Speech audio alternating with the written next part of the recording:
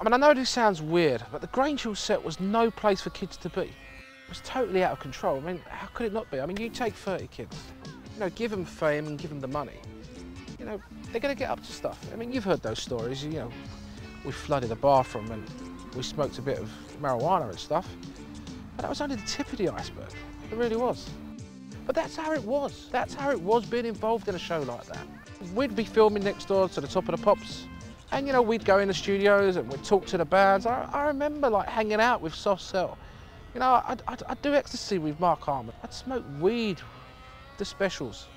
You know, the Madness Boys. I was taking speed with these guys. I was out all the time. People would offer me drink and they'd offer me drugs and girls would throw themselves at me.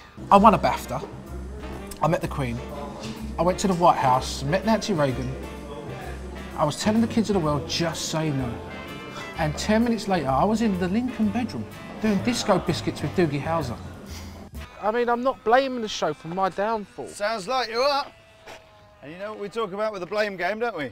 Yeah, because every time you point the finger of blame at someone, like this, there are three fingers right here pointing straight back at you, aren't there? I don't know what. The, well, let's tuck that under there. Nobody wins the blame game. Nobody. You know, because my character got bullied on the show.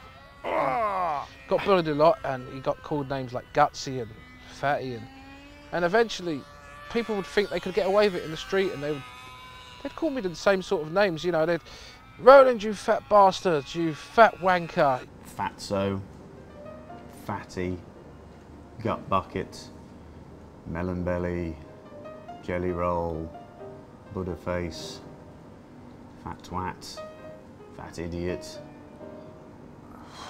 Sir eats a lot. And then later on, fat boy not so slim. Yeah, when I left Grange Hill, you know, I just wanted to go upwards and onwards. You know, I just wanted to go out there, want to get out in the world.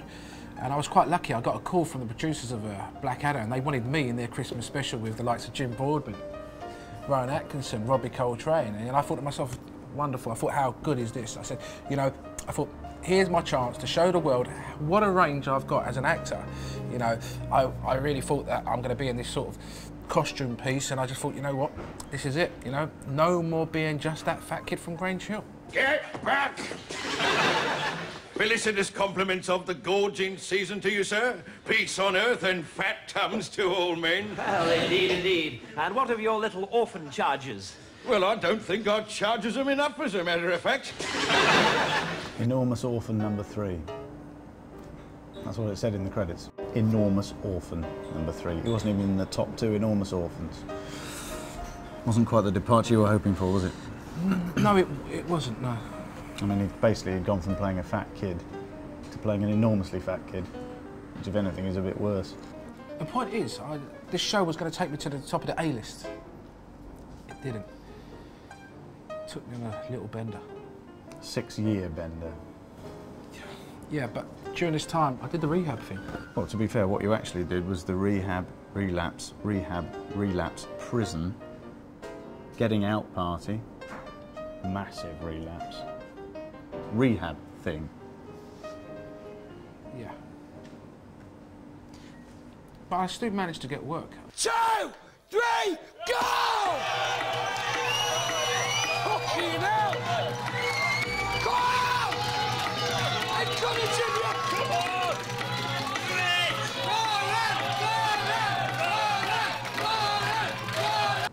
Yeah, that really wasn't your best work, was it? No.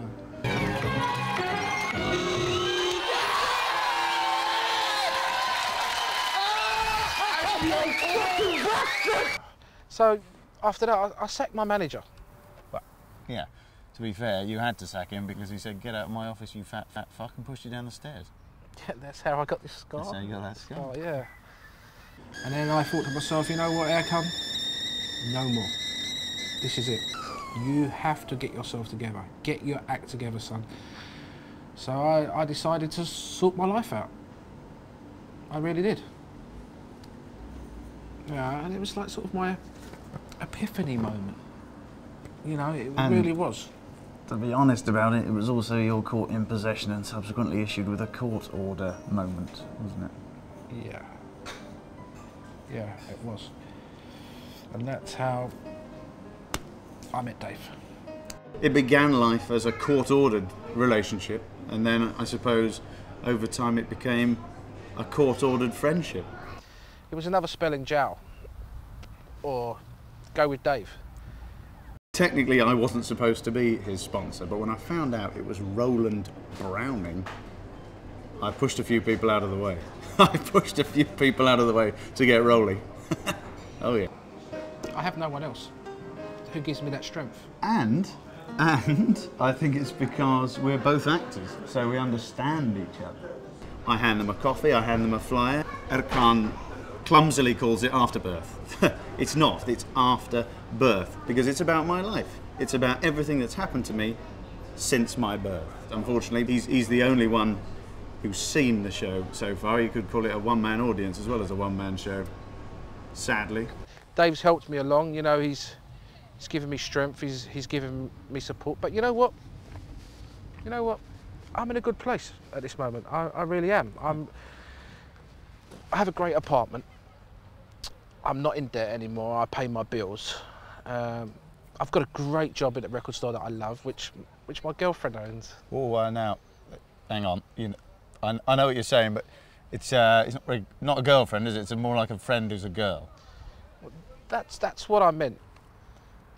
I got a call last week from uh, an American. Yeah, they said, hello, is that Erkan? I said, yeah. And they said, hello, we're calling from Quentin Tarantino's people. Yeah. Quentin Tarantino. Yeah, Quentin Tarantino's people. Now, they were casting for a British gangster movie. And, you know, Quentin Tarantino's got that quirky casting. And he wanted me.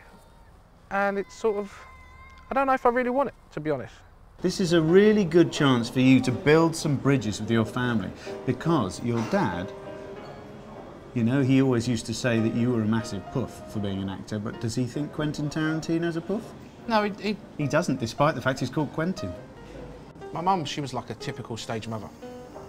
Uh, she wanted to be an actress, and she sort of lived it through me. No, well, look, hang on. It was a lot worse than that, wasn't it? I mean, what his mum actually said was, I would rather have a famous drug addict son than a fit and healthy nobody. That wasn't her exact words. She didn't Those say were, it like that. tho- she did. Those, that was her exact words. I'm quoting her. She used it as part of the toast at your brother's wedding. I'm worried. I'm worried to get back into this, this business. You know, this this call could go both ways. But to be honest, th- this business that I'm in, show business, you know, it it picked me up. I was there, and then it just spat me out. I hear what you're saying, but I think I think together we are ready for that. The reason I think that, because last time you got chewed up and spat out by a load of drunk children. This time you're going to get nurtured by John Travolta. Think about that. No one said John Travolta's involved yet, Dave. He might not be involved, but if he's got his own plane, for God's sake, he'll come and visit the set even if he's not in it. Why would he want that, Dave? Well, because he's a very good friend of Quentin's. John Travolta. Grease, then nothing. Nothing for years. And then suddenly Tarantino comes along. Massive star. He's got his own plane. You know, he, he is a pilot. He is a pilot. He is a pilot. And I think that's something that Erkan can aim for. He can shoot for that. And I'll be there with him. I'll be his co pilot. I'll be in the cockpit with him. And I don't know if I'm, if at this moment I'm ready for that, you know? I've got to think long and hard about it. I can't just take that step forward. I just really can't. Yeah, so. Hey, roller! Fuck yes! I'll get there, and I know I'll get there in the end. But I'd rather. Friend, Fuck off! Fuck you! You fucking, jerk!